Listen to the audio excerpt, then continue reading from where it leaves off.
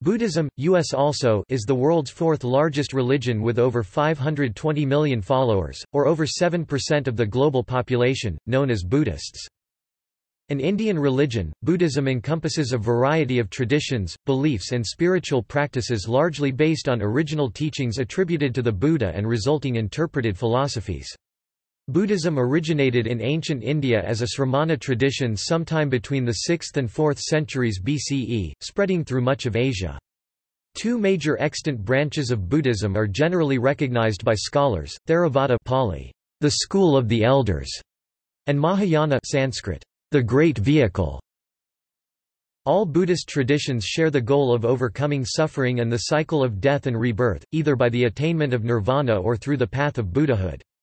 Buddhist schools vary in their interpretation of the path to liberation, the relative importance and canonicity assigned to the various Buddhist texts, and their specific teachings and practices. Widely observed practices include taking refuge in the Buddha, the Dharma and the Sangha, observance of moral precepts, monasticism, meditation, and the cultivation of the paramitas virtues. Theravada Buddhism has a widespread following in Sri Lanka and Southeast Asia. Mahayana, which includes the traditions of Pure Land, Zen, Nichiren Buddhism, Shingon and Tiantai Tendai, is found throughout East Asia. Vajrayana, a body of teachings attributed to Indian adepts, may be viewed as a separate branch or as an aspect of Mahayana Buddhism. Tibetan Buddhism, which preserves the Vajrayana teachings of 8th century India, is practiced in the countries of the Himalayan region, Mongolia, and Kalmykia.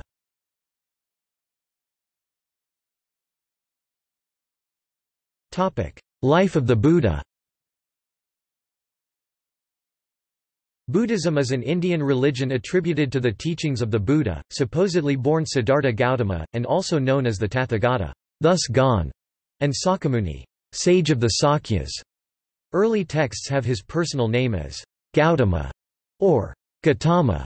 Pali without any mention of Siddhartha achieved the goal which appears to have been a kind of honorific title when it does appear. The details of Buddha's life are mentioned in many early Buddhist texts but are inconsistent, and his social background and life details are difficult to prove, the precise dates uncertain. The evidence of the early texts suggests that he was born as Siddhartha Gautama in Lumbini and grew up in Kapilavastu, a town in the plains region of the modern Nepal-India border, and that he spent his life in what is now modern Bihar and Uttar Pradesh. Some hagiographic legends state that his father was a king named Suddhodana, his mother was Queen Maya, and he was born in Lumbini Gardens. However, scholars such as Richard Gombrich consider this a dubious claim because a combination of evidence suggests he was born in the Shakyas community, one that later gave him the title Shakyamuni, and the Shakya community was governed by a small oligarchy or republic-like council where there were no ranks but where seniority mattered instead. Some of the stories about Buddha, his life, his teachings, and claims about the society he grew up in may have been invented and interpolated at a later time into the Buddhist texts. According to the Buddhist sutras, Gautama was moved by the innate suffering of humanity and its endless repetition due to rebirth. He set out on a quest to end this repeated suffering. Early Buddhist canonical texts and early biographies of Gautama state that Gautama first studied under Vedic teachers, namely Alara Kalama Sanskrit, Arada Kalama and Udaka Ramaputta Sanskrit, Udraka Ramaputra, learning meditation and ancient philosophies, particularly the concept of nothingness, emptiness, from the former, and what is neither seen nor unseen. From the latter, finding these teachings to be insufficient to attain his goal, he turned to the practice of asceticism. This too fell short of attaining his goal, and then he turned to the practice of dhyana, meditation, which he had already discovered in his youth. He famously sat in meditation under a ficus religiosa tree now called the Bodhi tree in the town of Bodh Gaya in the Gangetic Plains region of South Asia. He gained insight into the workings of karma and his former lives, and attained enlightenment, certainty about the middle way SKT, Madhyama Pratipad as the right path of spiritual practice to end suffering dukkha from rebirths in samsara. As a fully enlightened Buddha SKT, Samyaksambuddha, he attracted followers and founded a Sangha monastic order. Now, as the Buddha, he spent the rest of his life teaching the Dharma he had discovered, and died at the age of 80 in Kushinagar, India. Buddha's teachings were propagated by his followers, which in the last centuries of the first millennium BCE became over 18 Buddhist sub-schools of thought, each with its own basket of texts containing different interpretations and authentic teachings of the Buddha. These over time evolved into many traditions of which the more well-known and widespread in the modern era are Theravada, Mahayana and Vajrayana Buddhism.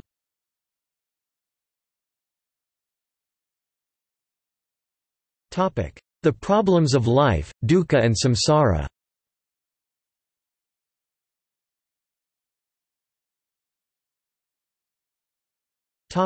Four Noble Truths, dukkha and its ending. The Four Truths express the basic orientation of Buddhism, we crave and cling to impermanent states and things, which is dukkha, incapable of satisfying, and painful. This keeps us caught in samsara, the endless cycle of repeated rebirth, dukkha and dying again.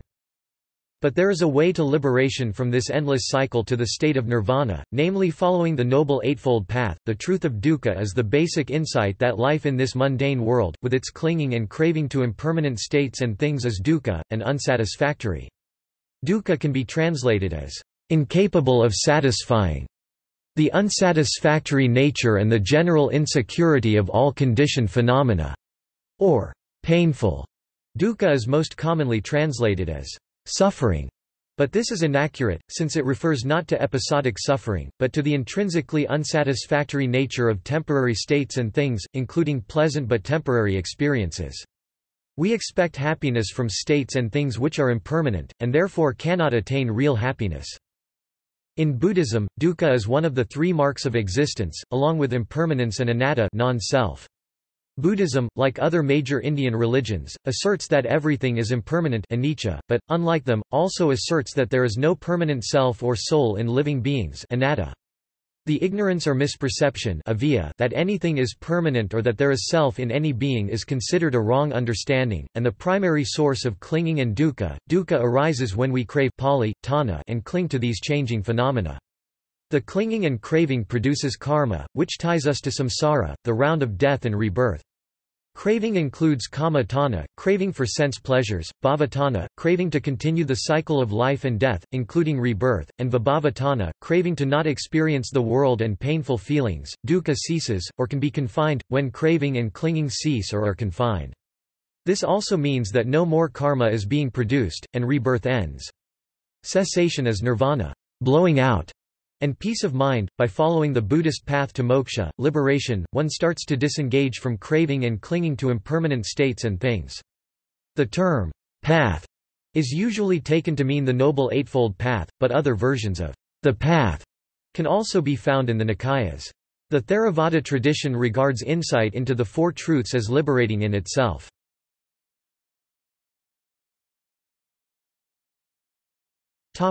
The cycle of rebirth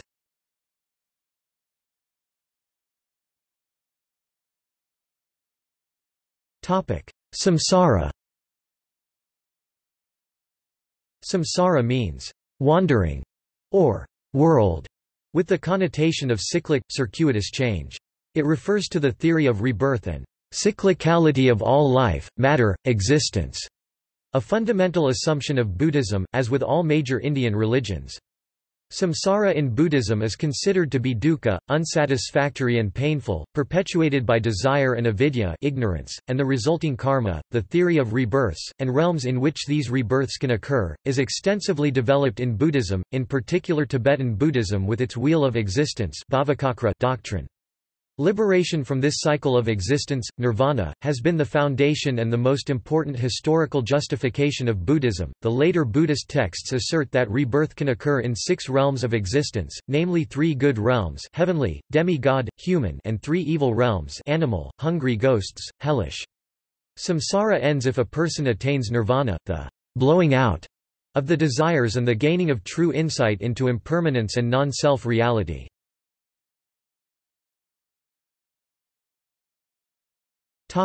Rebirth Rebirth refers to a process whereby beings go through a succession of lifetimes as one of many possible forms of sentient life, each running from conception to death. In Buddhist thought, this rebirth does not involve any soul, because of its doctrine of anatta Sanskrit, anatman, no self doctrine which rejects the concepts of a permanent self or an unchanging, eternal soul, as it is called in Hinduism and Christianity. According to Buddhism, there ultimately is no such thing as a self in any being or any essence in anything. The Buddhist traditions have traditionally disagreed on what it is in a person that is reborn, as well as how quickly the rebirth occurs after each death. Some Buddhist traditions assert that no self doctrine means that there is no perduring self, but there is avijja inexpressible self which migrates from one life to another. The majority of Buddhist traditions, in contrast, assert that vijñāna a person's consciousness though evolving, exists as a continuum and is the mechanistic basis of what undergoes rebirth, rebecoming and redeath. The rebirth depends on the merit or demerit gained by one's karma, as well as that accrued on one's behalf by a family member. Each rebirth takes place within one of five realms according to Theravadins, or six according to other schools heavenly, demi-gods, humans, animals, hungry ghosts, and hellish. In East Asian and Tibetan Buddhism, rebirth is not instantaneous, and there is an intermediate state Tibetan bardo between one life and the next. The orthodox Theravada position rejects the wait, and asserts that rebirth of a being is immediate. However there are passages in the Samyutta Nikaya of the Pali Canon that seem to lend support to the idea that the Buddha taught about an intermediate stage between one life and the next.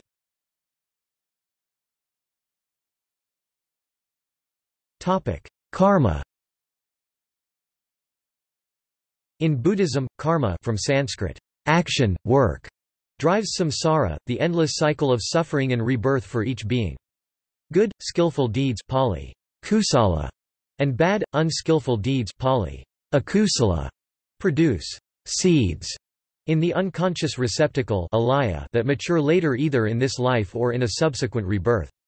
The existence of karma is a core belief in Buddhism. As with all major Indian religions, it implies neither fatalism nor that everything that happens to a person is caused by karma. A central aspect of Buddhist theory of karma is that intent matters and is essential to bring about a consequence or phala, fruit, or vipaka, result. However, good or bad karma accumulates even if there is no physical action, and just having ill or good thoughts create karmic seeds, thus, actions of body, speech or mind all lead to karmic seeds. In the Buddhist traditions, life aspects affected by the law of karma in past and current births of a being include the form of rebirth, realm of rebirth, social class, character and major circumstances of a lifetime. It operates like the laws of physics, without external intervention, on every being in all six realms of existence including human beings and gods. A notable aspect of the karma theory in Buddhism is merit transfer. A person accumulates merit not only through intentions and ethical living, but also is able to gain merit from others by exchanging goods and services, such as through dana charity to monks or nuns. Further, a person can transfer one's own good karma to living family members and ancestors.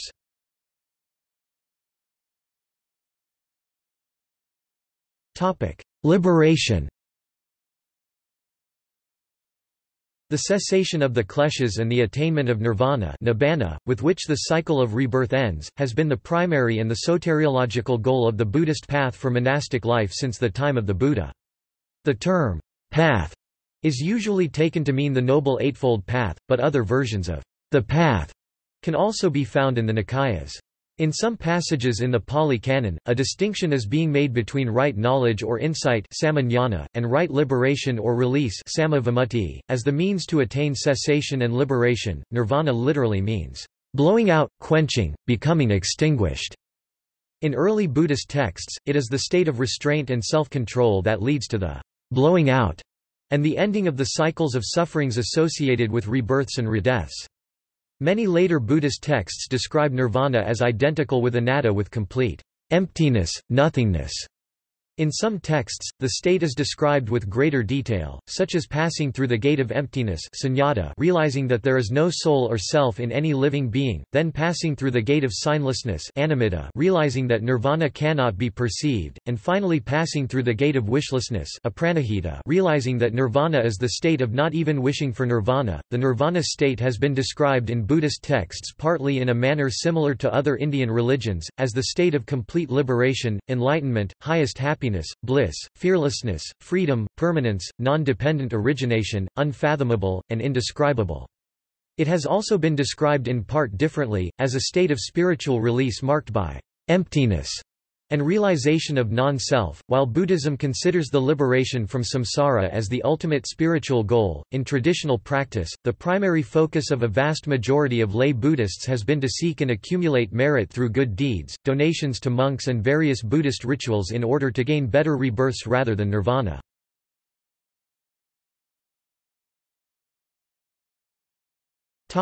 The path to liberation, bhavana practice, cultivation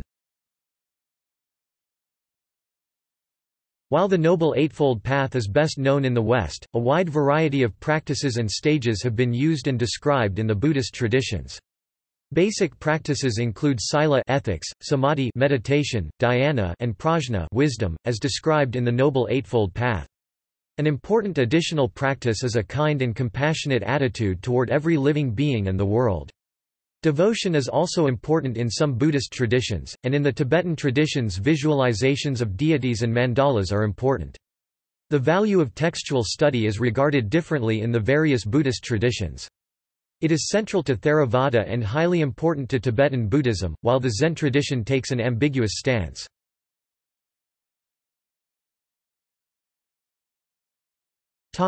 Refuge in the Three Jewels Traditionally, the first step in most Buddhist schools requires taking three refuges, also called the Three Jewels Sanskrit, Triratna, Pali, Tiratana as the foundation of one's religious practice.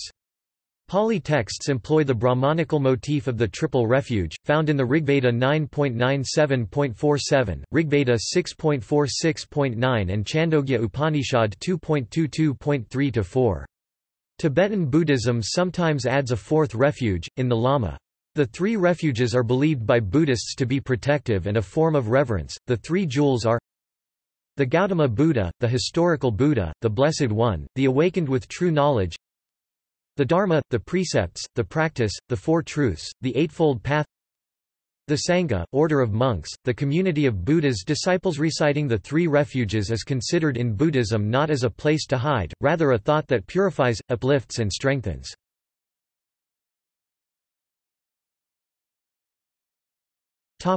The Buddhist path.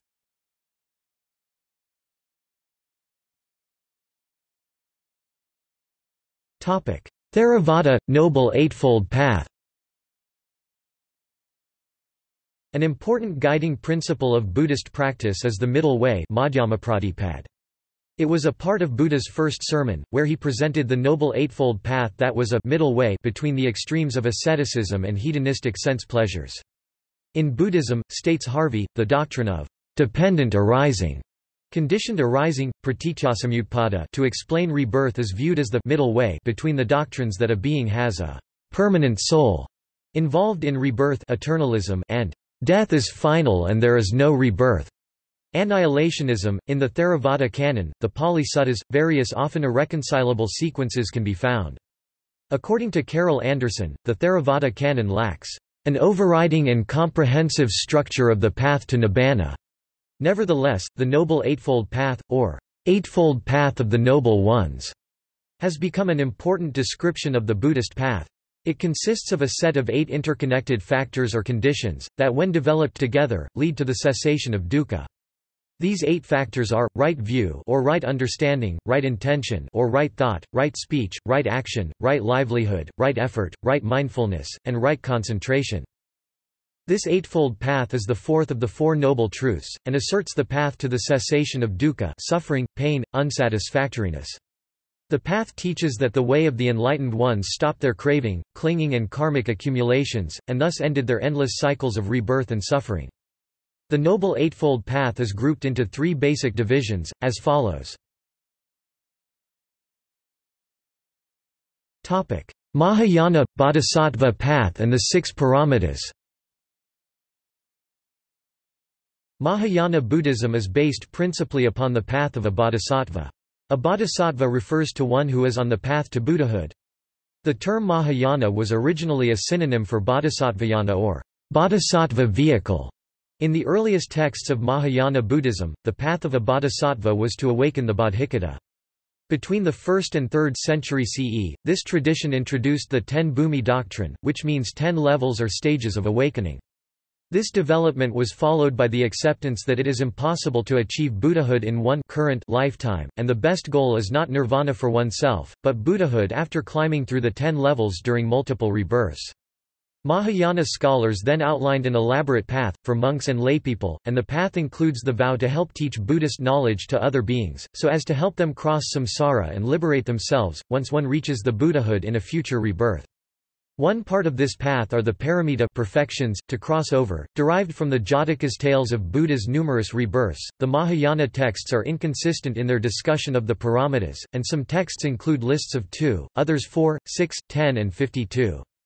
The six paramitas have been most studied, and these are Dana Paramita, perfection of giving, primarily to monks, nuns and the Buddhist monastic establishment dependent on the alms and gifts of the lay householders, in return for generating religious merit. Some texts recommend ritually transferring the merit so accumulated for better rebirth to someone else.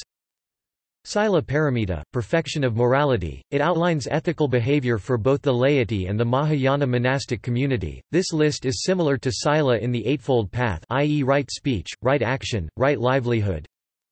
Kshanti Paramita, perfection of patience, willingness to endure hardship Virya Paramita, perfection of vigor, this is similar to right effort in the Eightfold Path Dhyana Paramita, perfection of meditation, this is similar to right concentration in the Eightfold Path Prajna paramita, perfection of insight wisdom, awakening to the characteristics of existence such as karma, rebirths, impermanence, no self, dependent origination and emptiness, this is complete acceptance of the Buddha teaching, then conviction, followed by ultimate realization that dharmas are non-arising. In Mahayana sutras that include ten paramitas, the additional four perfections are skillful means, vow, power and knowledge. The most discussed paramita and the highest rated perfection in Mahayana texts is the prajna paramita, or the perfection of insight. This insight in the Mahayana tradition, states Shohei Ichimura, has been the insight of non-duality or the absence of reality in all things.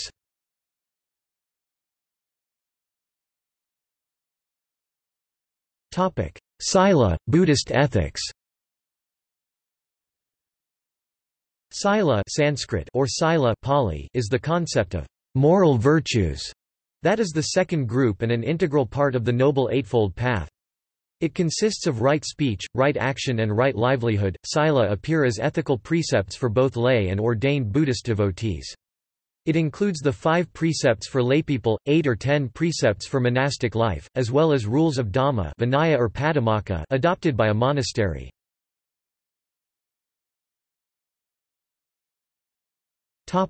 Precepts Buddhist scriptures explain the five precepts Pali, Pancasila, Sanskrit, Pancasila as the minimal standard of Buddhist morality. It is the most important system of morality in Buddhism, together with the monastic rules. The five precepts apply to both male and female devotees, and these are Abstain from killing ahimsa, Abstain from stealing Abstain from sensual including sexual misconduct. Abstain from lying. Abstain from intoxicants. Undertaking and upholding the five precepts is based on the principle of non-harming Pali and Sanskrit, ahimsa. The Pali Canon recommends one to compare oneself with others, and on the basis of that, not to hurt others. Compassion and a belief in karmic retribution form the foundation of the precepts. Undertaking the five precepts is part of regular lay devotional practice, both at home and at the local temple. However, the extent to which people keep them differs per region and time.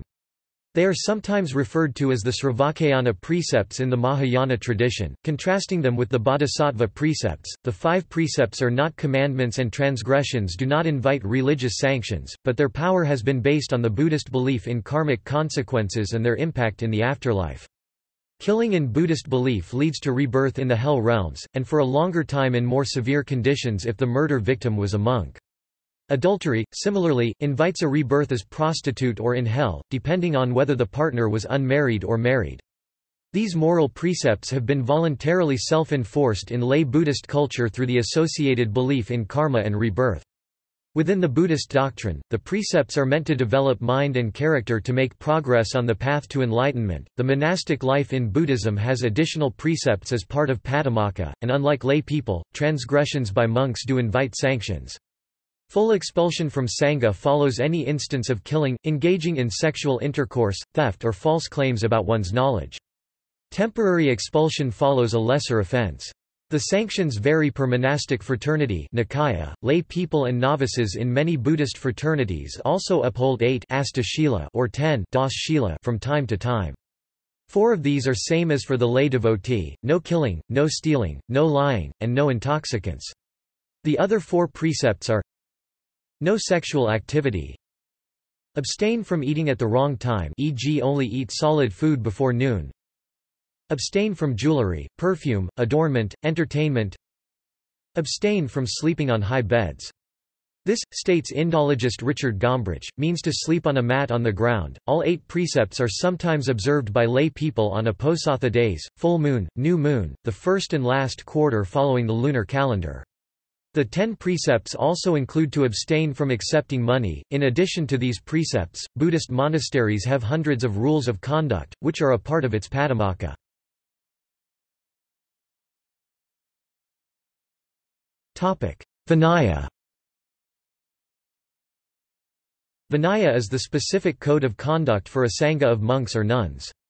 It includes the Patimokkha, a set of 227 offences including 75 rules of decorum for monks, along with penalties for transgression, in the Theravadan tradition. The precise content of the Vinaya Pitaka scriptures on the Vinaya differs in different schools and tradition, and different monasteries set their own standards on its implementation. The list of Patimokkha is recited every fortnight in a ritual gathering of all monks. Buddhist text with Vinaya rules for monasteries have been traced in all Buddhist traditions, with the oldest surviving being the ancient Chinese translations. Monastic communities in the Buddhist tradition cut normal social ties to family and community, and live as islands unto themselves. Within a monastic fraternity, a sangha has its own rules. A monk abides by these institutionalized rules, and living life as the Vinaya prescribes it is not merely a means, but very nearly the end in itself. Transgressions by a monk on Sangha Vinaya rules invites enforcement, which can include temporary or permanent expulsion.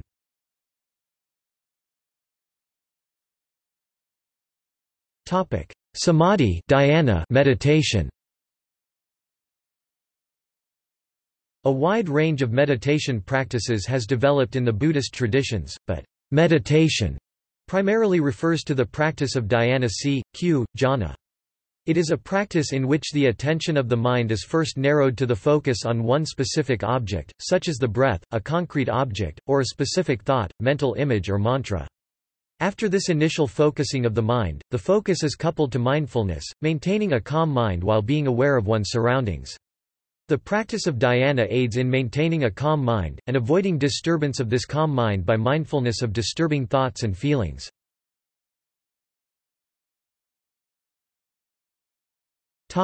Origins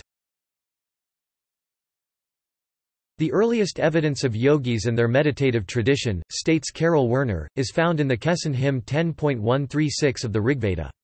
While evidence suggests meditation was practiced in the centuries preceding the Buddha, the meditative methodologies described in the Buddhist texts are some of the earliest among texts that have survived into the modern era. These methodologies likely incorporate what existed before the Buddha as well as those first developed within Buddhism. According to Bronkhorst, the four dhyanas was a Buddhist invention. Bronkhorst notes that the Buddhist canon has a mass of contradictory statements, little is known about their relative chronology, and There can be no doubt that the canon, including the older parts, the Sutra and Vinaya Pitaka, was composed over a long period of time. Meditative practices were incorporated from other Shramanic movements. The Buddhist texts describe how Buddha learnt the practice of the formless dhyana from Brahmanical practices, in the Nikayas ascribed to Alara Kalama and Uddaka Ramaputta. The Buddhist canon also describes and criticizes alternative dhyana practices, which likely mean the pre-existing mainstream meditation practices of Jainism and Hinduism. Buddha added a new focus and interpretation, particularly through the four dhyanas methodology, in which mindfulness is maintained. Further, the focus of meditation and the underlying theory of liberation guiding the meditation has been different in Buddhism. For example, states Bronkhorst, the verse 4.4.23 of the Brihadaranyaka Upanishad with its Become calm, subdued, quiet, patiently enduring, concentrated, one sees soul in oneself, is most probably a meditative state. The Buddhist discussion of meditation is without the concept of soul and the discussion criticizes both the ascetic meditation of Jainism and the real self, soul meditation of Hinduism.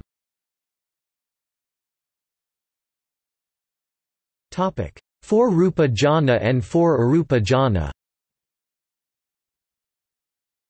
For nirvana, Buddhist texts teach various meditation methodologies, of which Rupa jhana four meditations in the realm of form and Arupa jhana four meditations in the formless realm have been the most studied. These are described in the Pali Canon as trance-like states in the world of desirelessness. The four dhyanas under Rupa jhanas are First dhyana, detach from all sensory desires and sinful states that are a source of unwholesome karma. Success here is described in Buddhist texts as leading to discursive thinking, deliberation, detachment, sukha pleasure, and priti rapture. Second dhyana, cease deliberation and all discursive thoughts. Success leads to one-pointed thinking, serenity, pleasure and rapture. Third dhyana, lose feeling of rapture. Success leads to equanimity, mindfulness and pleasure, without rapture. Fourth dhyana, cease all effects, lose all happiness and sadness. Success in the fourth meditation stage leads to pure equanimity and mindfulness, without any pleasure or pain. The Arupa jhanas formless realm meditation are also four, which are entered by those who have mastered the Rupa jhanas arhats.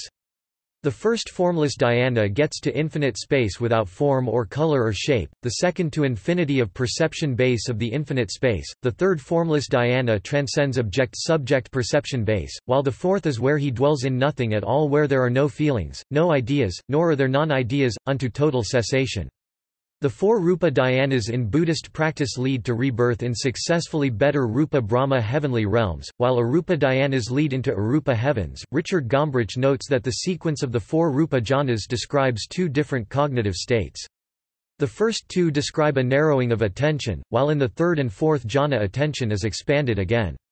Alexander Wynne further explains that the dhyana scheme is poorly understood. According to Wynne, words expressing the inculcation of awareness, such as sati, sampajano, and upekkha, are mistranslated or understood as particular factors of meditative states, whereas they refer to a particular way of perceiving the sense objects.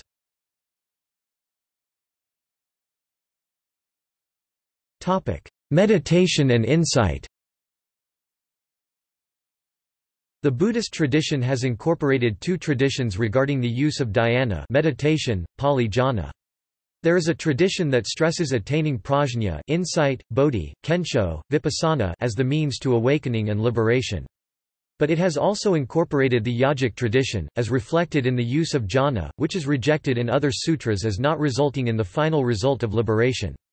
Lambert Schmithausen, a professor of Buddhist studies, discerns three possible roads to liberation as described in the suttas, to which Vetter adds the sole practice of dhyana itself.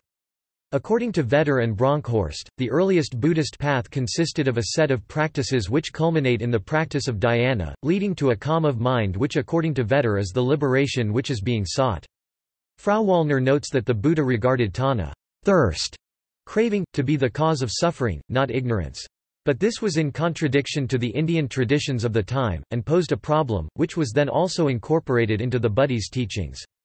Later on, liberating insight came to be regarded as equally liberating.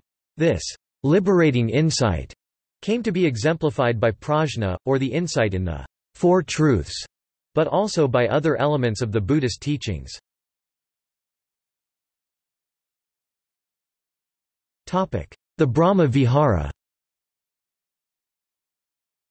The four immeasurables or four abodes, also called Brahma Viharas, are virtues or directions for meditation in Buddhist traditions, which helps a person be reborn in the heavenly Brahma realm.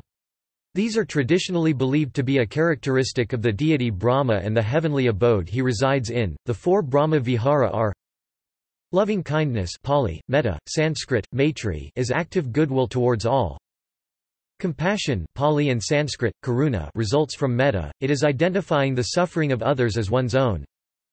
Empathetic joy Pali and Sanskrit, mudita, is the feeling of joy because others are happy, even if one did not contribute to it, it is a form of sympathetic joy. Equanimity Pali, upekkha, Sanskrit, upeksa, is even-mindedness and serenity, treating everyone impartially. According to Peter Harvey, the Buddhist scriptures acknowledge that the four Brahmavihara meditation practices did not originate within the Buddhist tradition. The Brahmavihara sometimes as Brahmaloka, along with the tradition of meditation and the above four immeasurables are found in pre-Buddha and post-Buddha Vedic and Shramanic literature. Aspects of the Brahmavihara practice for rebirths into the heavenly realm have been an important part of Buddhist meditation tradition. According to Gombrich, the Buddhist usage of the Brahma Vihara originally referred to an awakened state of mind, and a concrete attitude toward other beings which was equal to living with Brahman, here and now. The later tradition took those descriptions too literally, linking them to cosmology and understanding them as living with Brahman by rebirth in the Brahma world. According to Gombrich, the Buddha taught that kindness, what Christians tend to call love, was a way to salvation.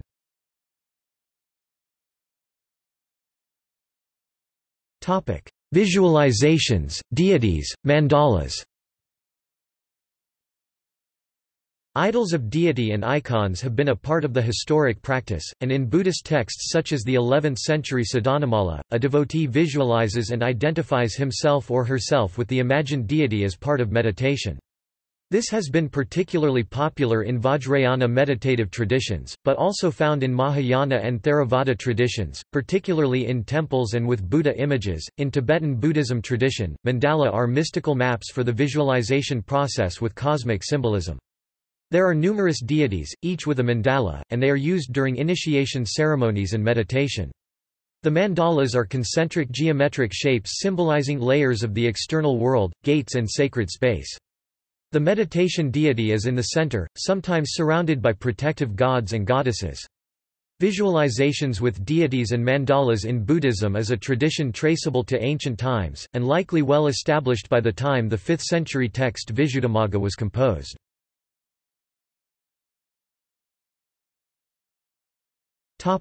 Practice, monks, laity. According to Peter Harvey, whenever Buddhism has been healthy, not only ordained but also more committed lay people have practiced formal meditation. Loud devotional chanting however, adds Harvey, has been the most prevalent Buddhist practice and considered a form of meditation that produces energy, joy, loving kindness and calm purifies mind and benefits the chanter. Throughout most of Buddhist history, meditation has been primarily practiced in Buddhist monastic tradition, and historical evidence suggests that serious meditation by lay people has been an exception. In recent history, sustained meditation has been pursued by a minority of monks in Buddhist monasteries. Western interest in meditation has led to a revival where ancient Buddhist ideas and precepts are adapted to Western mores and interpreted liberally, presenting Buddhism as a meditation-based form of spirituality.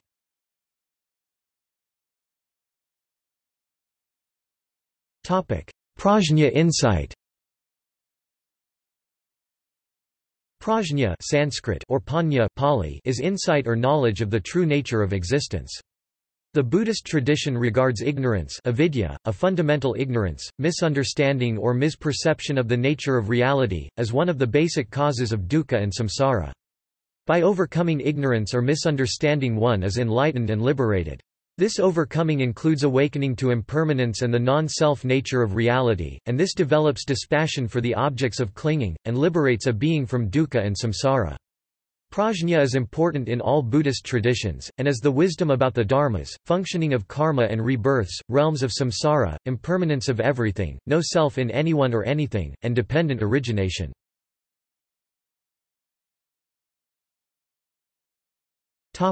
Origins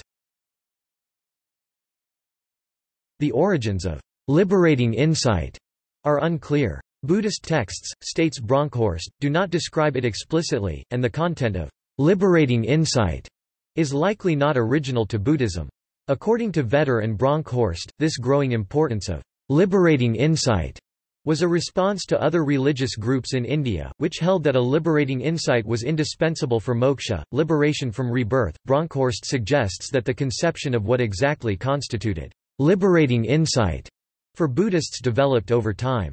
Whereas originally it may not have been specified as an insight, later on the Four Noble Truths served as such, to be superseded by pratityasamutpada, and still later, in the Hinayana schools, by the doctrine of the non-existence of a substantial self or person. Other descriptions of this liberating insight exist in the Buddhist canon, that the five skandhas are impermanent, disagreeable, and neither the self nor belonging to oneself. Quote. The contemplation of the arising and disappearance of the five skandhas. The realization of the skandhas is empty vain and without any pith or substance In the Pali Canon liberating insight is attained in the fourth dhyana. However, states Vetter, modern scholarship on the Pali Canon has uncovered a whole series of inconsistencies in the transmission of the Buddha's word. And there are many conflicting versions of what constitutes higher knowledge and samadhi that leads to the liberation from rebirth and suffering. Even within the four dhyana methodology of meditation, Vetter notes that, "...penetrating abstract truths and penetrating them successively does not seem possible in a state of mind which is without contemplation and reflection." According to Vetter, dhyana itself constituted the original, "...liberating practice." Carol Anderson notes that insight is often depicted in the Vinaya as the opening of the Dhamma eye, which sets one on the Buddhist path to liberation.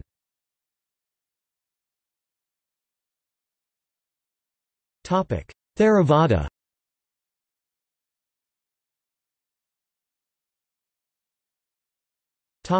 Vipassana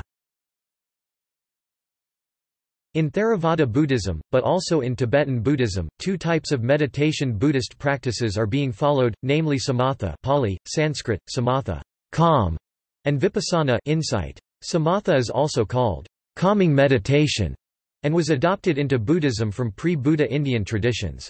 Vipassana meditation was added by Buddha, and refers to insight meditation.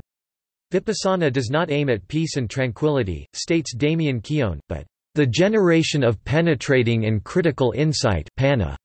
The focus of vipassana meditation is to continuously and thoroughly know impermanence of everything anicca, no self in anything anatta, and the dukkha teachings of Buddhism. Contemporary Theravada orthodoxy regards samatha as a preparation for vipassana, pacifying the mind and strengthening the concentration in order to allow the work of insight, which leads to liberation. In contrast, the Vipassana movement argues that insight levels can be discerned without the need for developing samatha further due to the risks of going out of the course when strong samatha is developed.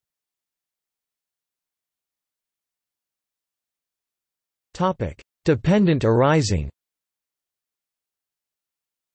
Pratityasamutpada, also called dependent arising, or dependent origination is the Buddhist theory to explain the nature and relations of being, becoming, existence and ultimate reality. Buddhism asserts that there is nothing independent, except the state of nirvana.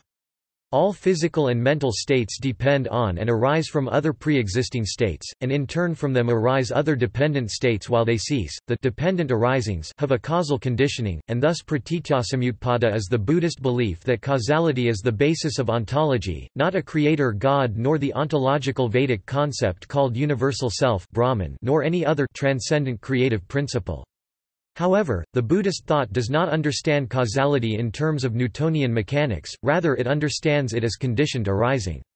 In Buddhism, dependent arising is referring to conditions created by a plurality of causes that necessarily co-originate a phenomenon within and across lifetimes, such as karma in one life creating conditions that lead to rebirth in one of the realms of existence for another lifetime. Buddhism applies the dependent arising theory to explain origination of endless cycles of dukkha and rebirth, through its twelve nidanas or twelve links doctrine. It states that because avidya ignorance exists samskaras karmic formations exists, because samskaras exists therefore vijñāna consciousness exists, and in a similar manner it links namarupa sentient body, sadayatana six senses, sparsa sensory stimulation, vedana feeling, tanha craving, upadana grasping, bhava becoming, jati birth, and jaramarana old age, death, sorrow, pain. By breaking the circuitous links of the twelve nidanas, Buddhism asserts that liberation from these endless cycles cycles of rebirth and dukkha can be attained.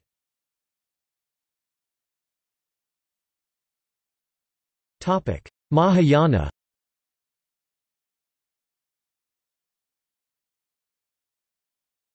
Topic: Emptiness Sunyata, or emptiness, is a central concept in Nagarjuna's Madhyamaka school, and widely attested in the Prajnaparamita Sutras. It brings together key Buddhist doctrines, particularly anatta and dependent origination, to refute the metaphysics of Sarvastivada and Sautrantika extinct non-Mahayana schools. Not only sentient beings are empty of Atman, all phenomena dharmas are without any svabhava literally, own nature, or self-nature, and thus without any underlying essence, and empty a being independent, thus the heterodox theories of Svabhava circulating at the time were refuted on the basis of the doctrines of early Buddhism.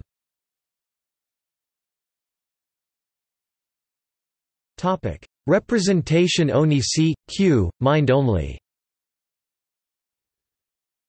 Sarvastivada teachings, which were criticized by Nagarjuna, were reformulated by scholars such as Vasubandhu and Asanga and were adapted into the Yogacara school. One of the main features of Yogacara philosophy is the concept of Vijñapti matra. It is often used interchangeably with the term Sata matra, but they have different meanings. The standard translation of both terms is, consciousness only, or mind only. Several modern researchers object to this translation, and the accompanying label of absolute idealism, or idealistic monism. A better translation for Vijñapti matra is representation only, while an alternative translation for sata mind, thought matra only, exclusively has not been proposed. While the Madhyamaka school held that asserting the existence or non-existence of any ultimately real thing was inappropriate, some later exponents of Yogacara asserted that the mind and only the mind is ultimately real a doctrine known as Chittamatra.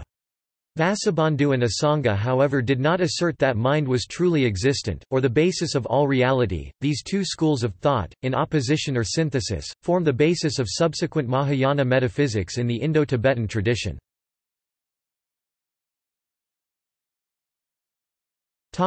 Buddha nature Buddha nature is a concept found in some 1st millennium CE Buddhist texts, such as the Tathagatagarbha Sutras. This concept has been controversial in Buddhism, but has a following in East Asian Buddhism. These sutras suggest, states Paul Williams, that all sentient beings contain a Tathagata as their essence, core inner nature, self. The Tathagatagarbha doctrine, at its earliest probably appeared about the later part of the 3rd century CE, and it contradicts the anatta doctrine non-self in a vast majority of Buddhist texts, leading scholars to posit that the Tathagatagarbha sutras were written to promote Buddhism to non-Buddhists. However, the Buddhist text Ratnagotravibhaga states that the self implied in Tathagatagarbha doctrine is actually not self.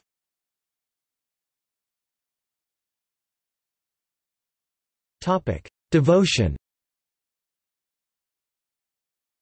Devotion is an important part of the practice of most Buddhists. Devotional practices include ritual prayer, prostration, offerings, pilgrimage, and chanting.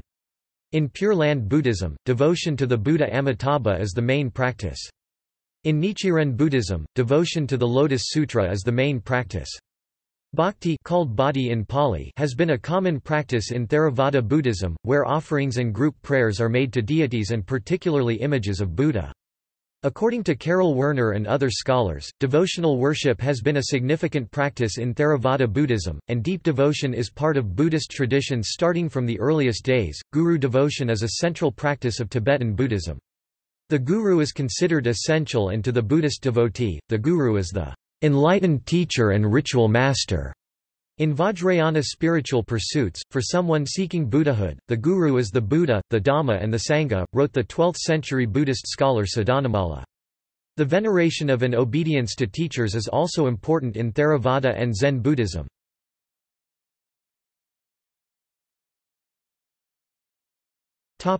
Buddhist texts Buddhism, like all Indian religions, was an oral tradition in ancient times. The Buddha's words, the early doctrines and concepts, and the interpretations were transmitted from one generation to the next by the word of mouth in monasteries, and not through written texts. The first Buddhist canonical texts were likely written down in Sri Lanka, about 400 years after the Buddha died. The texts were part of the Tripitakas, and many versions appeared thereafter claiming to be the words of the Buddha. Scholarly Buddhist commentary texts, with named authors, appeared in India, around the 2nd century CE.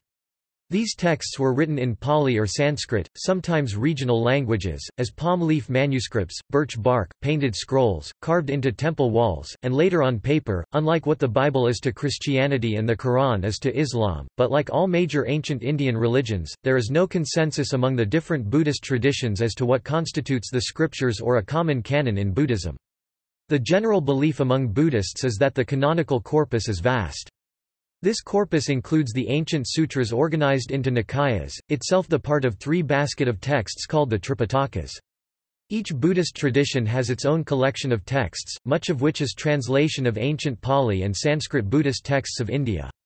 The Chinese Buddhist canon, for example, includes 2,184 texts in 55 volumes, while the Tibetan canon comprises 1108 texts—all claim to have been spoken by the Buddha, and another 3,461 texts composed by Indian scholars revered in the Tibetan tradition. The Buddhist textual history is vast, over 40,000 manuscripts—mostly Buddhist, some non-Buddhist—were discovered in 1900 in the Dunhuang Chinese cave alone.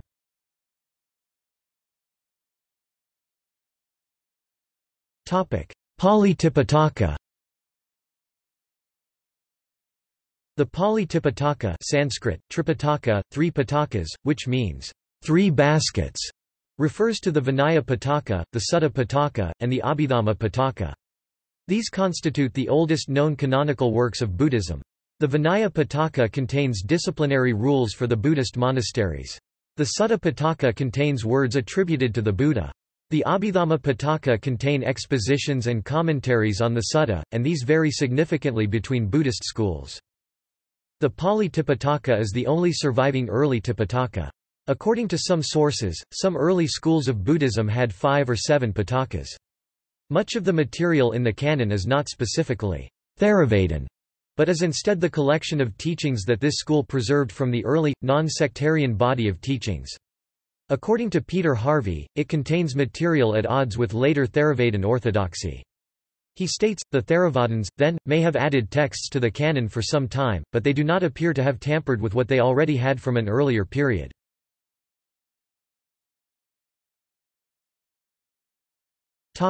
Theravada texts In addition to the Pali Canon, the important commentary texts of the Theravada tradition include the 5th-century Visuddhimagga by Buddhaghosa of the Mahavihara school. It includes sections on shila virtues, samadhi concentration, panna wisdom as well as Theravada tradition's meditation methodology.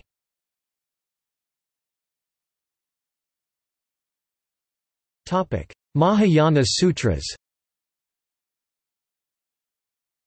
The Mahayana Sutras are a very broad genre of Buddhist scriptures that the Mahayana Buddhist tradition holds are original teachings of the Buddha.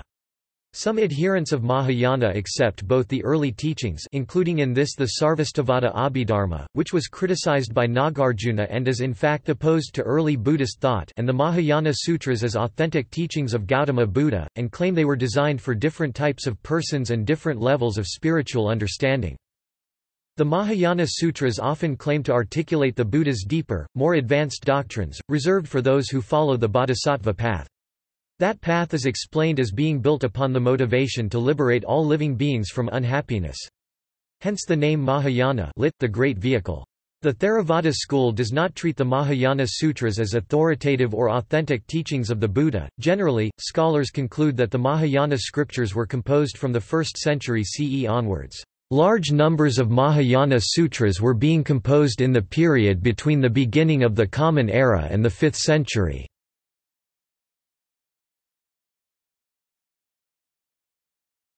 Śālistamba Sutra Many ancient Indian texts have not survived into the modern era, creating a challenge in establishing the historic commonalities between Theravada and Mahayana. The texts preserved in the Tibetan Buddhist monasteries, with parallel Chinese translations, have provided a breakthrough. Among these is the Mahayana text Śālistamba Sutra which no longer exists in a Sanskrit version, but does in Tibetan and Chinese versions. This Mahayana text contains numerous sections which are remarkably the same as the Theravada Pali Canon and Nikaya Buddhism. The Śālistamba Sutra was cited by Mahayana scholars such as the 8th century Yasomitra to be authoritative. This suggests that Buddhist literature of different traditions shared a common core of Buddhist texts in the early centuries of its history, until Mahayana literature diverged about and after the 1st century CE.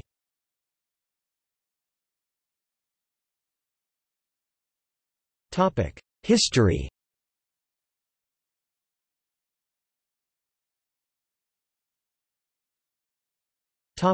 Historical roots. Historically, the roots of Buddhism lie in the religious thought of Iron Age India around the middle of the first millennium BCE. This was a period of great intellectual ferment and socio-cultural change known as the Second Urbanization marked by the composition of the Upanishads and the historical emergence of the Shramanic traditions. New ideas developed both in the Vedic tradition in the form of the Upanishads, and outside of the Vedic tradition through the Sramana movements. The term Sramana refers to several Indian religious movements parallel to but separate from the historical Vedic religion, including Buddhism, Jainism, and others such as Ajivika. Several Sramana movements are known to have existed in India before the 6th century BCE, pre-Buddha, pre-Mahavira, and these influenced both the Astika and Nastika traditions of Indian philosophy. According to Martin Wiltshire, the Sramana tradition evolved in India over two phases, namely Paccekabuddha and Savaka phases, the former being the tradition of individual ascetic and the latter of disciples, and that Buddhism and Jainism ultimately emerged from these. Brahmanical and non-Brahmanical ascetic groups shared and used several similar ideas, but the Sramana traditions also drew upon already established Brahmanical concepts and philosophical roots, states Wiltshire, to formulate their own doctrines. Brahmanical motifs can be found in the oldest Buddhist texts, using them to introduce and explain Buddhist ideas. For example, prior to Buddhist developments, the Brahmanical tradition internalized and variously reinterpreted the three Vedic sacrificial fires as concepts such as truth, right, tranquility or restraint. Buddhist texts also refer to the three Vedic sacrificial fires, reinterpreting and explaining them as ethical conduct. The Sramana religions challenged and broke with the Brahmanic tradition on core assumptions such as Atman, soul, self, Brahman, the nature of afterlife, and they rejected the authority of the Vedas and Upanishads. Buddhism was one among several Indian religions that did so.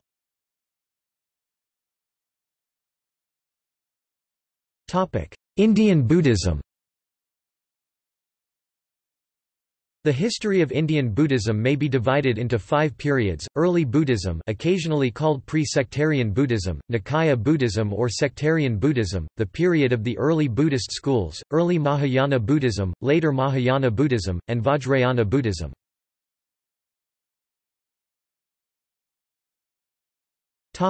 Pre-sectarian Buddhism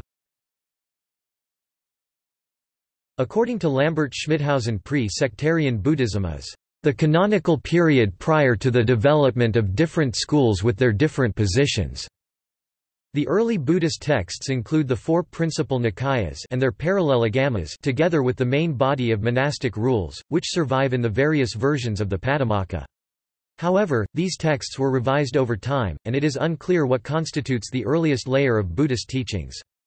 One method to obtain information on the oldest core of Buddhism is to compare the oldest extant versions of the Theravadan Pali Canon and other texts. The reliability of the early sources, and the possibility to draw out a core of oldest teachings, is a matter of dispute.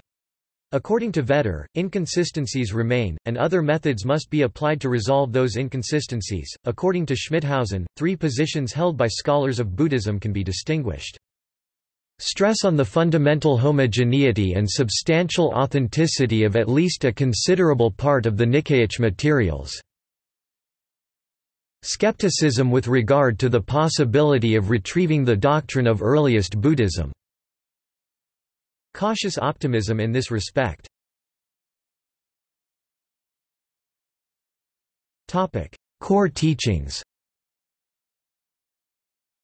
According to Mitchell, certain basic teachings appear in many places throughout the early texts, which has led most scholars to conclude that Gautama Buddha must have taught something similar to the Four Noble Truths, the Noble Eightfold Path, Nirvana, the Three Marks of Existence, the Five Aggregates, Dependent Origination, Karma and Rebirth. Yet critical analysis reveals discrepancies, which point to alternative possibilities. Bruce Matthews notes that there is no cohesive presentation of karma in the Sutta Pitaka, which may mean that the doctrine was incidental to the main perspective of early Buddhist soteriology. Schmithausen has questioned whether karma already played a role in the theory of rebirth of earliest Buddhism. According to Vetter, the Buddha at first sought the deathless amata, amrta, which is concerned with the here and now. Only later did he become acquainted with the doctrine of rebirth. Bronkhorst disagrees, and concludes that the Buddha introduced a concept of karma that differed considerably from the commonly held views of his time. According to Bronkhorst, not physical and mental activities as such were seen as responsible for rebirth, but intentions and desire. Another core problem in the study of early Buddhism is the relation between dhyana and insight. Schmithausen states that the Four Noble Truths as liberating insight may be a later addition to texts such as Majjhima Nikaya 36. According to both Bronkhorst and Anderson, the Four Noble Truths became a substitution for prajna, or liberating insight, in the suttas in those texts where liberating insight was preceded by the four jhanas. The Four Truths may not have been formulated in earliest Buddhism, and did not serve in earliest Buddhism as a description of liberating insight. Gautama's teachings may have been personal adjusted to the need of each person. The three marks of existence, dukkha, anicca, and anatta, may reflect Upanishadic or other influences. K. R. Norman supposes that these terms were already in use at the Buddha's time, and were familiar to his hearers. According to Vetter, the description of the Buddhist path may initially have been as simple as the term, the middle way. In time, this short description was elaborated, resulting in the description of the Eightfold Path. Similarly nibbana is the common term for the desired goal of this practice, yet many other terms can be found throughout the Nikayas, which are not specified.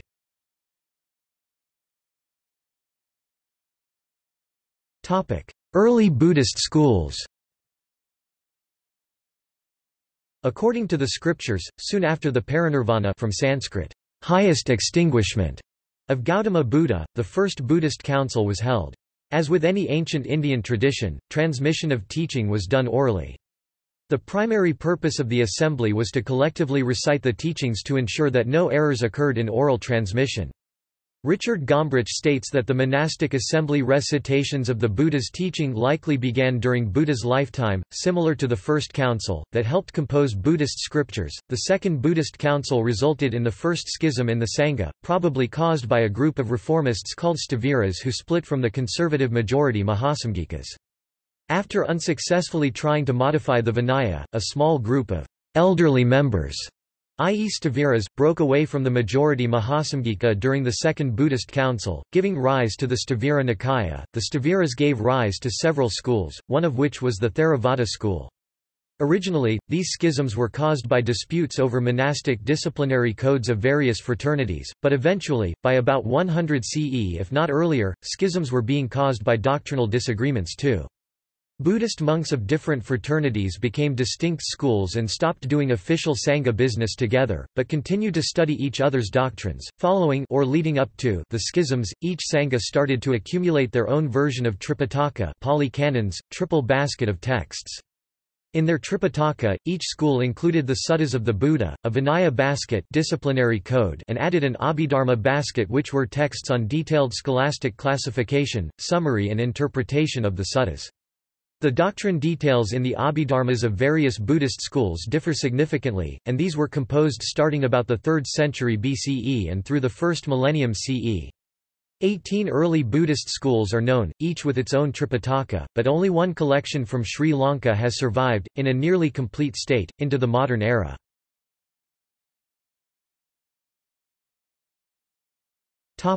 Early Mahayana Buddhism Several scholars have suggested that the Mahayana Buddhist tradition started in South India modern Andhra Pradesh, and it is there that Prajnaparamita Sutras, among the earliest Mahayana sutras, developed among the Mahasamgika along the Kursna River region about the 1st century BCE. There is no evidence that Mahayana ever referred to a separate formal school or sect of Buddhism, but rather that it existed as a certain set of ideals, and later doctrines, for bodhisattvas. Initially it was known as Bodhisattvayana the vehicle of the bodhisattvas. Paul Williams states that the Mahayana never had nor ever attempted to have a separate Vinaya or ordination codes from the early schools of Buddhism. Records written by Chinese monks visiting India indicate that both Mahayana and non-Mahayana monks could be found in the same monasteries, with the difference that Mahayana monks worshipped figures of bodhisattvas, while non-Mahayana monks did not. Much of the early extant evidence for the origins of Mahayana comes from early Chinese translations of Mahayana texts. These Mahayana teachings were first propagated into China by Lokaksema, the first translator of Mahayana sutras into Chinese during the 2nd century CE. Some scholars have traditionally considered the earliest Mahayana sutras to include the very first versions of the Prajnaparamita series, along with texts concerning Aksobhya, which were probably composed in the 1st century BCE in the south of India.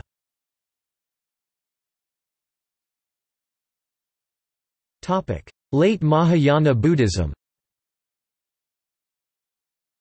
During the period of late Mahayana, four major types of thought developed, Madhyamaka, Yogacara, Tathagatagarbha, and Buddhist logic as the last and most recent.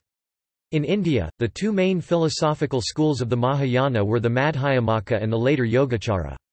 According to Dan Lusthaus, Madhyamaka and Yogacara have a great deal in common, and the commonality stems from early Buddhism. There were no great Indian teachers associated with Tathagatagarbha thought.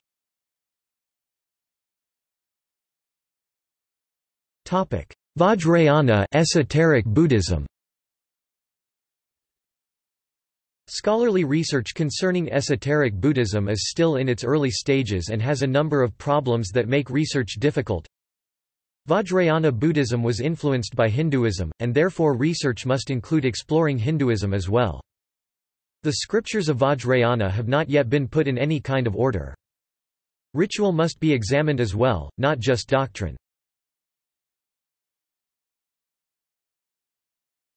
Topic: Spread of Buddhism. Buddhism may have spread only slowly in India until the time of the Mauryan emperor Ashoka, who was a public supporter of the religion.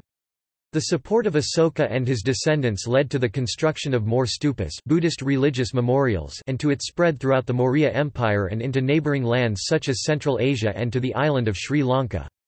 These two missions, in opposite directions, would ultimately lead, in the first case to the spread of Buddhism into China, Korea and Japan, and in the second case, to the emergence of Sinhalese Theravada Buddhism and its spread from Sri Lanka to much of Southeast Asia.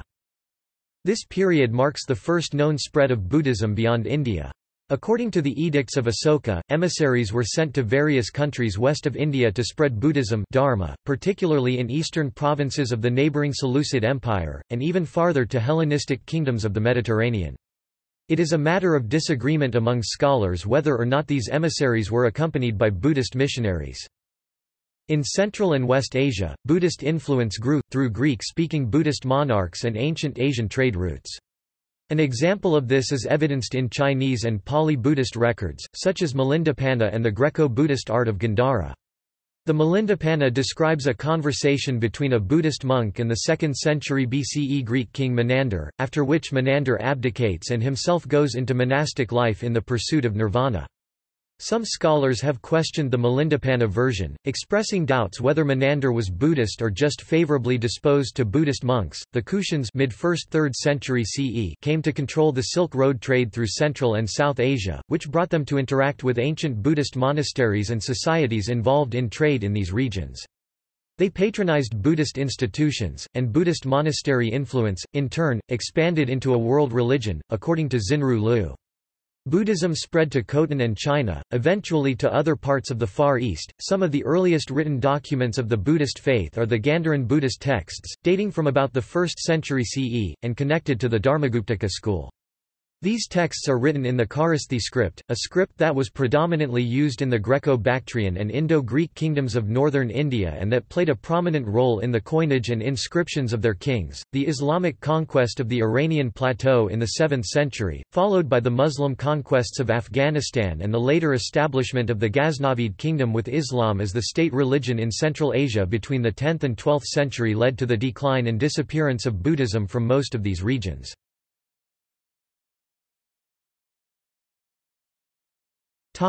To East and Southeast Asia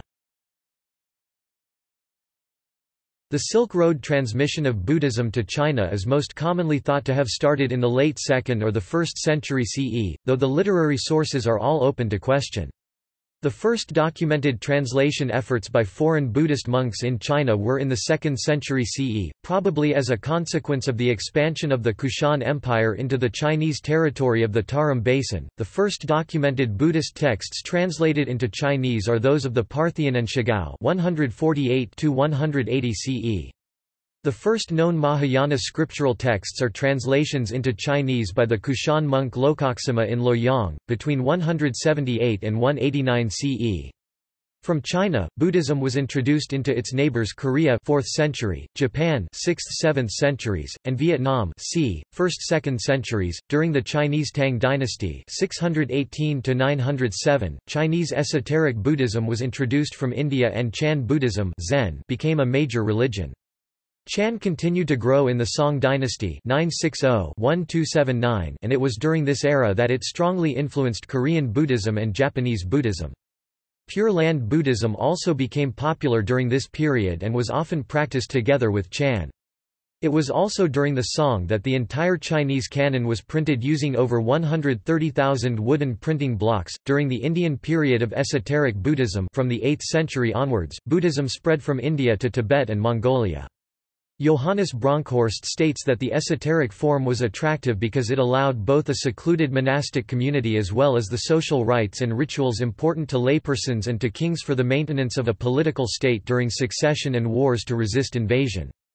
During the Middle Ages, Buddhism slowly declined in India, while it vanished from Persia and Central Asia as Islam became the state religion. The Theravada school arrived in Sri Lanka sometime in the 3rd century BCE. Sri Lanka became a base for its later spread to Southeast Asia after the 5th century CE Myanmar, Malaysia, Indonesia, Thailand, Cambodia and coastal Vietnam. Theravada Buddhism was the dominant religion in Burma during the Mon Hanthawaddy Kingdom 1287 -1552. It also became dominant in the Khmer Empire during the 13th and 14th centuries and in the Thai Sukhothai Kingdom during the reign of Ramkhamhaeng 1237–1247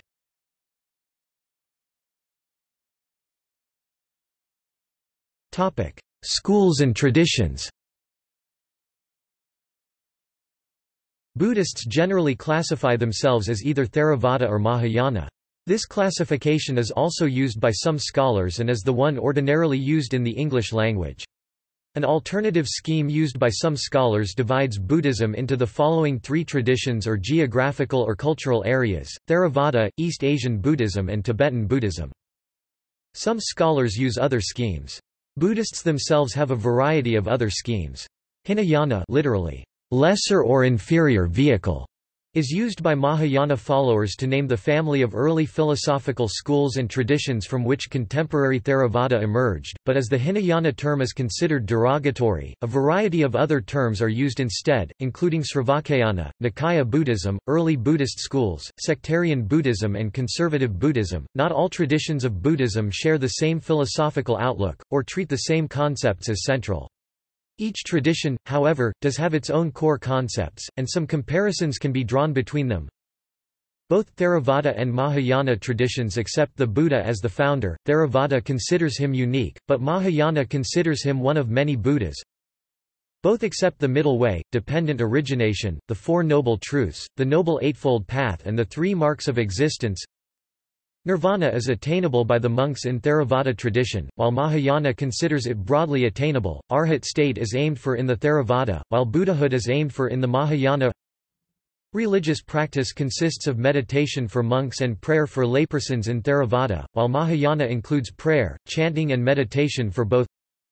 Theravada has been a more rationalist, historical form of Buddhism, while Mahayana has included more rituals, mysticism and worldly flexibility in its scope.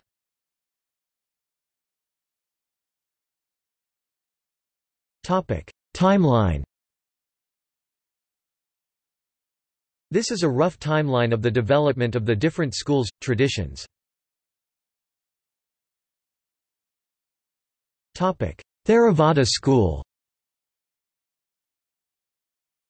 The Theravada tradition traces its roots to the words of the Buddha preserved in the Pali Canon, and considers itself to be the more orthodox form of Buddhism. Theravada flourished in South India and Sri Lanka in ancient times, from there it spread for the first time into mainland Southeast Asia about the 11th century into its elite urban centers. By the 13th century, Theravada had spread widely into the rural areas of mainland Southeast Asia, displacing Mahayana Buddhism and some traditions of Hinduism which had arrived in places such as Thailand, Cambodia, Vietnam, Indonesia and Malaysia around the mid-first millennium CE. The later traditions were well established in South Thailand and Java by the 7th century, under the sponsorship of the Srivijaya dynasty. The political separation between Khmer and Sukhothai led the Sukhothai king to welcome Sri Lankan emissaries, helping them establish the first Theravada Buddhist Sangha in the 13th century. In contrast to the Mahayana tradition of Khmer earlier, Sinhalese Buddhist reformers in the late 19th and early 20th centuries portrayed the Pali Canon as the original version of scripture. They also emphasized Theravada being rational and scientific. Theravada is primarily practiced today in Sri Lanka, Burma, Laos, Thailand, Cambodia, as well as small portions of China, Vietnam, Malaysia, and Bangladesh. It has a growing presence in the West.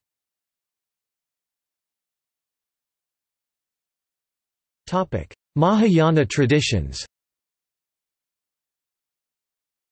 Mahayana schools consider the Mahayana Sutras as authoritative scriptures and accurate rendering of Buddha's words.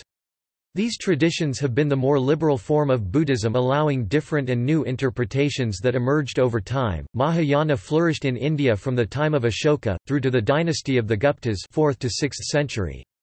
Mahayana monastic foundations and centers of learning were established by the Buddhist kings, and the Hindu kings of the Gupta dynasty as evidenced by records left by three Chinese visitors to India. The Gupta dynasty, for example, helped establish the famed Nalanda University in Bihar. These monasteries and foundations helped Buddhist scholarship, as well as studies into non-Buddhist traditions and secular subjects such as medicine, host visitors and spread Buddhism into East and Central Asia. Native Mahayana Buddhism is practiced today in China, Japan, Korea, Singapore, parts of Russia and most of Vietnam also commonly referred to as Eastern Buddhism. The Buddhism practiced in Tibet, the Himalayan regions, and Mongolia is also Mahayana in origin, but is discussed below under the heading of Vajrayana also commonly referred to as Northern Buddhism. There are a variety of strands in Eastern Buddhism, of which the Pure Land school of Mahayana is the most widely practiced today. In most of this area however, they are fused into a single unified form of Buddhism. In Japan in particular, they form separate denominations with the five major ones being, Nichiren, peculiar to Japan, Pure Land, Shingon, a form of Vajrayana, Tendai, and Zen. In Korea, nearly all Buddhists belong to the Chogi school, which is officially Seon Zen, but with substantial elements from other traditions.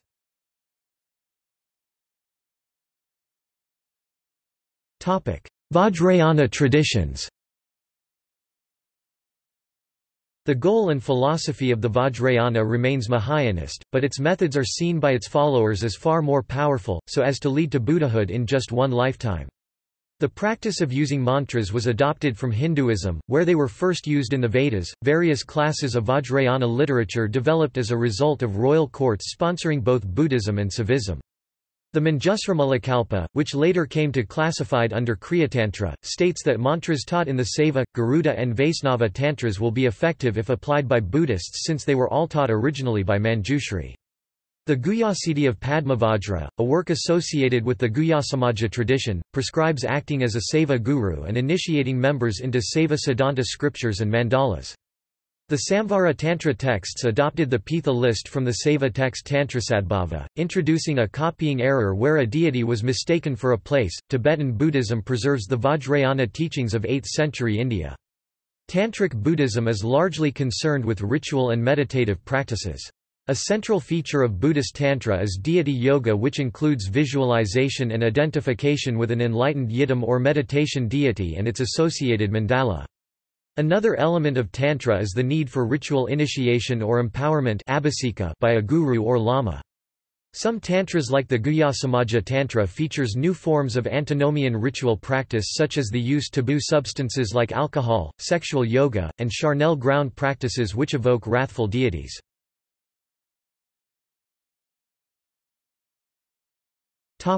Zen Zen Buddhism, Chan pronounced Chan in Chinese, Son in Korean or Zen in Japanese derived from the Sanskrit term dhyana, meaning meditation, is a form of Mahayana Buddhism found in China, Korea and Japan.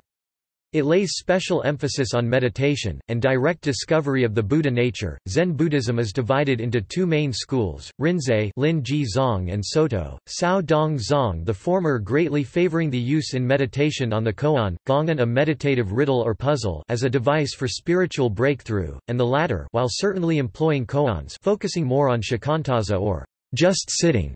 Zen Buddhism is primarily found in Japan, with some presence in South Korea and Vietnam. The scholars of Japanese Soto Zen tradition in recent times have critiqued the mainstream Japanese Buddhism for Dhatu Vada, that is assuming things have substantiality, a view they assert to be non-Buddhist and out of tune with the teachings of non-self and conditioned arising, states Peter Harvey.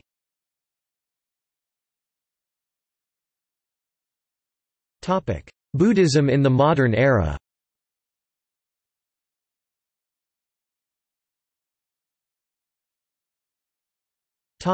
Colonial era Buddhism has faced various challenges and changes during the colonization of Buddhist states by Christian countries and its persecution under modern states. Like other religions, the findings of modern science has challenged its basic premises. One response to some of these challenges has come to be called Buddhist modernism. Early Buddhist modernist figures such as the American convert Henry Olcott (1832–1907) and Anagarika Dharmapala (1864–1933) reinterpreted and promoted Buddhism as a scientific and rational religion, which they saw as compatible with modern science. East Asian Buddhism, meanwhile, suffered under various wars which ravaged China during the modern era, such as the Taiping Rebellion and the Second World War, which also affected Korean Buddhism. During the Republican period 1912 a new movement called Humanistic Buddhism was developed by figures such as Taixu (1899–1947), and though Buddhist institutions were destroyed during the Cultural Revolution (1966–76), there has been a revival of the religion in China after 1977. Japanese Buddhism also went through a period of modernization during the Meiji era. In Central Asia meanwhile, the arrival of communist repression to Tibet 1966 and Mongolia between 1924–1990 had a strong negative impact on Buddhist institutions, though the situation has improved somewhat since the 80s and 90s.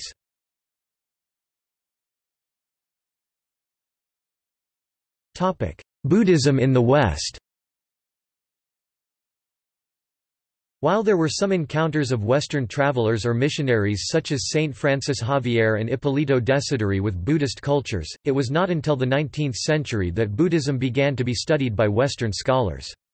It was the work of pioneering scholars such as Eugene Burnouf, Max Muller, Hermann Oldenberg and Thomas William Rhys Davids that paved the way for modern Buddhist studies in the West. The English words such as Buddhism, Buddhist, Buddhist, and Buddhist were coined in the early 19th century in the West, while in 1881, Rhys Davids founded the Pali Text Society, an influential Western resource of Buddhist literature in the Pali language and one of the earliest publisher of a journal on Buddhist studies. It was also during the 19th century that Asian Buddhist immigrants mainly from China and Japan began to arrive in Western countries such as the United States and Canada, bringing with them their Buddhist religion. This period also saw the first Westerners to formally convert to Buddhism, such as Helena Blavatsky and Henry Steele Olcott. An important event in the introduction of Buddhism to the West was the 1893 World Parliament of Religions, which for the first time saw well-publicized speeches by major Buddhist leaders alongside other religious leaders. The 20th century saw a prolific growth of new Buddhist institutions in Western countries, including the Buddhist Society, London 1924, Das Buddhistische Haus 1924, and Datsan Gunzechoinei in St. Petersburg. The publication and translations of Buddhist literature in Western languages thereafter accelerated. After the Second World War, further immigration from Asia, globalization, the secularization on Western culture as well as a renewed interest in Buddhism among the 60s counterculture led to further growth in Buddhist institutions. Influential figures on post-war Western Buddhism include Shunryu Suzuki, Jack Kerouac, Alan Watts, Thich Nhat Hanh, and the 14th Dalai Lama. While Buddhist institutions have grown, some of the central premises of Buddhism such as the cycles of rebirth and Four Noble Truths have been problematic in the West. In contrast, states Christopher Gowans, for most ordinary Asian Buddhists, today as well as in the past, their basic moral orientation is governed by belief in karma and rebirth. Most Asian Buddhist laypersons, states Kevin Trainor, have historically pursued Buddhist rituals and practices seeking better rebirth, not nirvana or freedom from rebirth. Buddhism has spread across the world, and Buddhist texts are increasingly translated into local languages. While Buddhism in the West is often seen as exotic and progressive, in the East it is regarded as familiar and traditional. In countries such as Cambodia and Bhutan, it is recognized as the state religion and receives government support. In certain regions such as Afghanistan and Pakistan, militants have targeted violence and destruction of historic Buddhist monuments.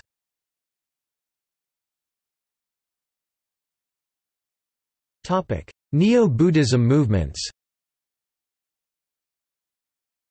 A number of modern movements in Buddhism emerged during the second half of the 20th century. These new forms of Buddhism are diverse and significantly depart from traditional beliefs and practices. In India, B.R. Ambedkar launched the Navayana tradition, literally, new vehicle. Ambedkar's Buddhism rejects the foundational doctrines and historic practices of traditional Theravada and Mahayana traditions, such as monk lifestyle after renunciation, karma, rebirth, samsara, meditation, nirvana, Four Noble Truths and others. Ambedkar's Navayana Buddhism considers these as superstitions and reinterprets the original Buddha as someone who taught about class struggle and social equality. Ambedkar urged low-caste Indian Dalits to convert to his Marxism-inspired reinterpretation called the Navayana Buddhism, also known as Bhimayana Buddhism. Ambedkar's effort led to the expansion of Navayana Buddhism in India. The Thai king Mongkut R. 1851–68, and his son King Chulalongkorn R. 1868–1910, were responsible for modern reforms of Thai Buddhism.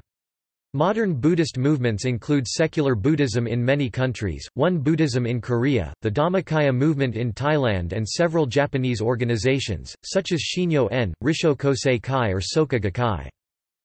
Some of these movements have brought internal disputes and strife within regional Buddhist communities. For example, the Dhammakaya movement in Thailand teaches a true self doctrine, which traditional Theravada monks consider as heretically denying the fundamental anatta not self doctrine of Buddhism.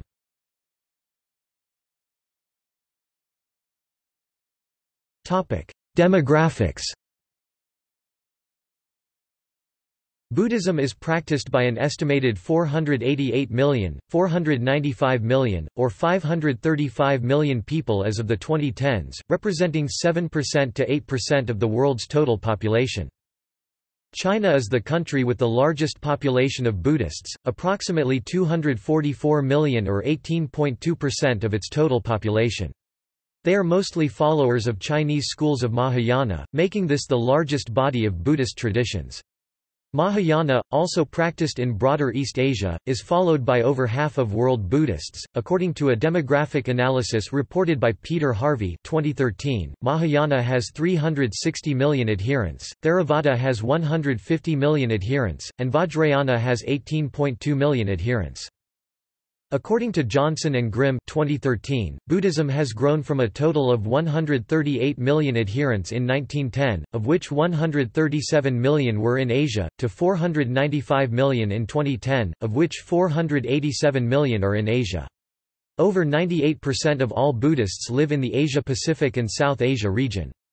North America had about 3.9 million Buddhists, Europe 1.3 million, while South America, Africa and the Middle East had an estimated combined total of about 1 million Buddhists in 2010. Buddhism is the dominant religion in Bhutan, Burma, Cambodia, Tibet, Laos, Mongolia, Sri Lanka and Thailand. Large Buddhist populations live in China 18%, Japan 36%, Taiwan 35%, Macau 17%, North Korea 14%, Nepal 11%, Vietnam 10%, Singapore 33%, Hong Kong 15% and South Korea 23%. Buddhism is also growing by conversion. In United States, only about a third 32% of Buddhists in the United States are Asian, a majority 53% are white. Buddhism in the America is primarily made up of native-born adherents, whites and converts. After China, where nearly half of the worldwide Buddhists live, the ten countries with the largest Buddhist population densities are.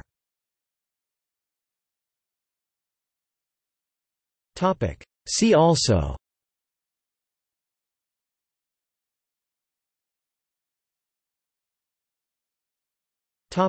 Notes Subnotes